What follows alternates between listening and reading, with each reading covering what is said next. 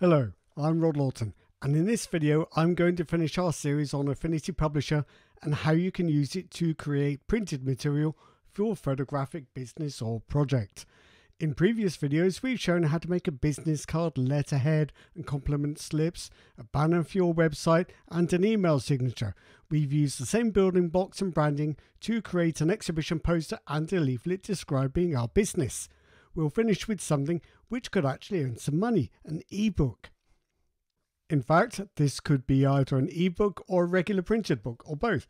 The document we create in Affinity Publisher could be sold via your website, used as a promotional giveaway, or as training material if you teach photographic courses. But you can also send it to a commercial printer for regular printing. You just need to get proper print and sizing specifications from them first. Be aware too that book printing is an expensive business that takes a good deal of cash upfront for uncertain returns. That's why ebooks are so popular. Creating a book in Affinity Publisher is no more difficult than creating some of the documents in our earlier videos. Publisher is perfect for long form content like books and also has all the tools you need for contemporary and inspiring covers. We'll introduce two final ideas in this tutorial one is text autoflow and the other is text styles.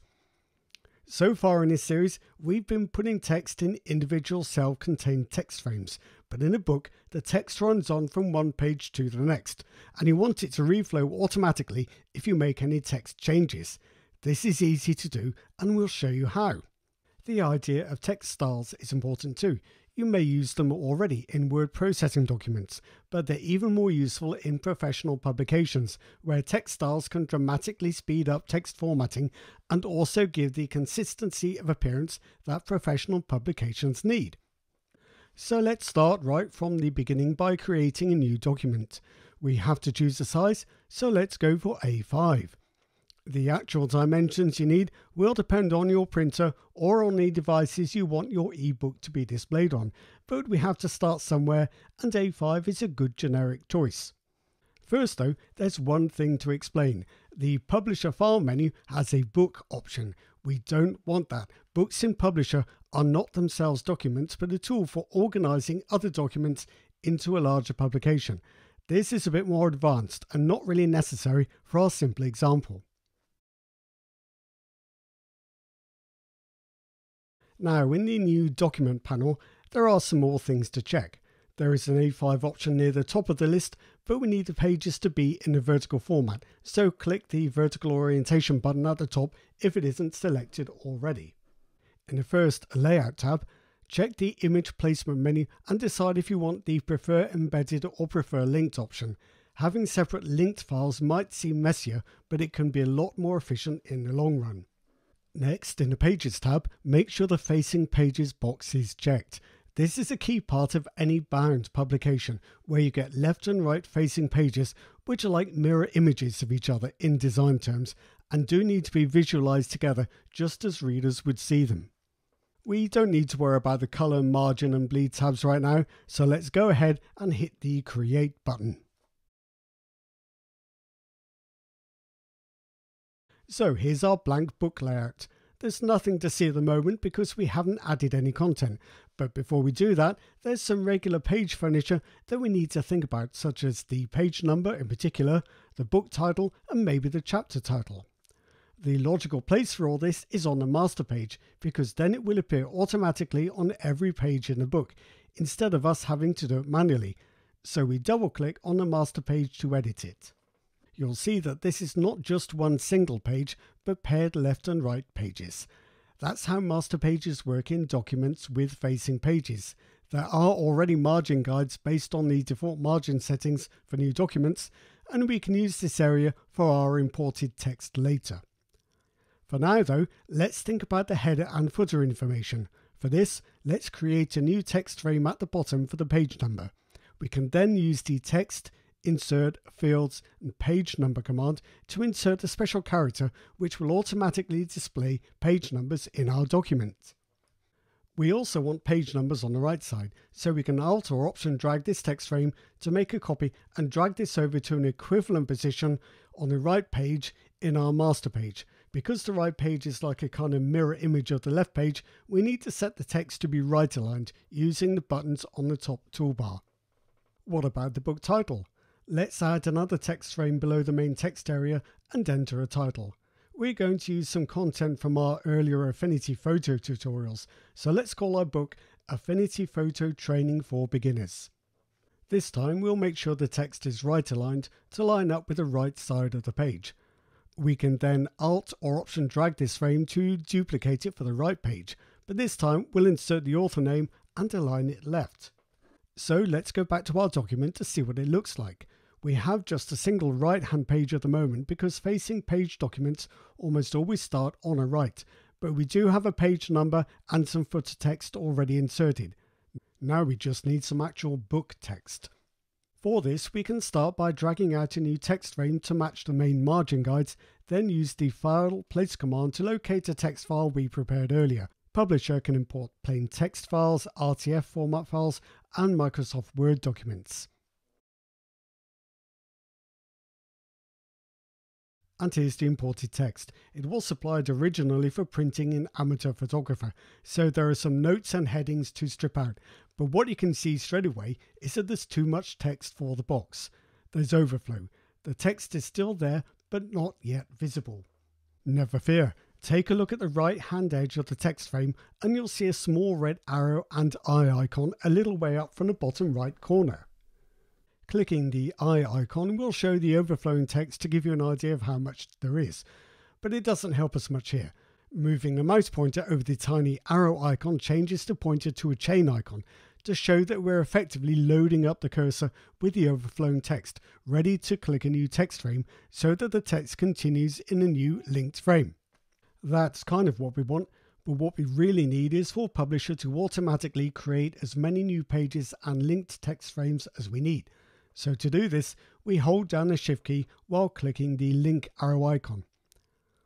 And in moments, Affinity Publisher has added enough pages and linked text frames to hold all the text. Perfect. but the text isn't yet in the style that we've used for our other business documents and publications. This is why designers use style sheets, which consist of font, size, and paragraph attributes. You can also create character styles for individual words and characters, but we don't need that right now. First, we need to assign a style to all our words. So let's carry out a select all command on the text, then go up to the top toolbar, open a paragraph style drop down, and choose the predefined body style. It still doesn't use our preferred font and size yet, but at least now the text has been assigned a defined style. So now, with all the text still selected, we can use the menus on the top toolbar to select the Avenir Next font we've been using in all our other documents, and we can set the size to 10 point, which looks about right here. This means we've overridden the existing body style, and we'll lose our changes if we apply that style again, what we actually need to do is redefine that body style with our alterations, and that's easy.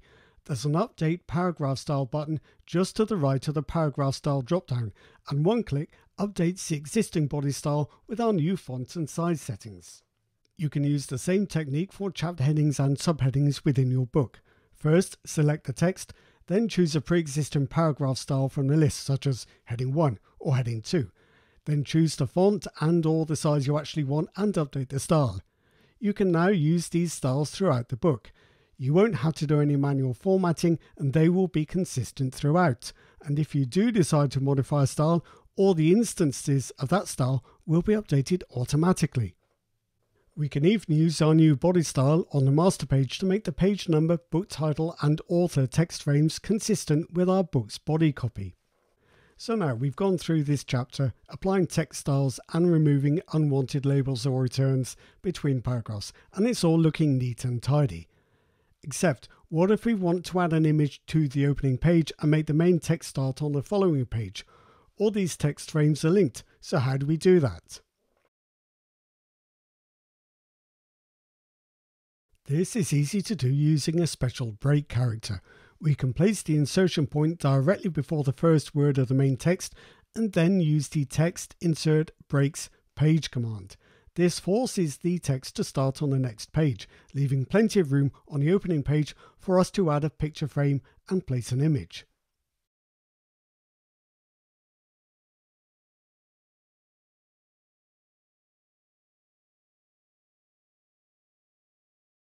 We're not going to add any more chapters to our document to create a whole book because that would take an age and would simply mean repeating the same steps over and over. Instead, let's think about the cover. Obviously, we need to add some pages before the first chapter, and that's easy. The page panel has an Add Pages button. This opens up a simple looking dialog that does have a couple of important settings. First, we need to choose the number of pages, which we'll set to 4. This needs to be an even number for our book so that it still starts on the right page. We can use the blank pages after the cover for some publishing preamble and any statutory information for printed volumes. Then we need to choose where the pages are inserted. In this case it needs to be before page 1, otherwise the new pages will appear in the middle of our flowing text frames and confuse everything. So now with our new pages added we can create a cover for our first page. Remember, this is always a right page. Rather than going through every step of our cover design, we'll simply copy elements from our earlier poster and leaflet designs. If you want to know more about how to create and modify artistic text frames, picture frames and shapes, check out those videos. And here's our book cover and the pages to our book so far. Hopefully, you can see that once you've worked out the basics of master pages, styles on a page panel, creating whole books can be remarkably straightforward. So that's the last in this short series of Affinity Publisher tutorials. We've covered a lot of ground, but we've taken it one step at a time so that even publishing beginners can see how to create their own publications. We hope you found this useful. Thanks for watching and see you next time.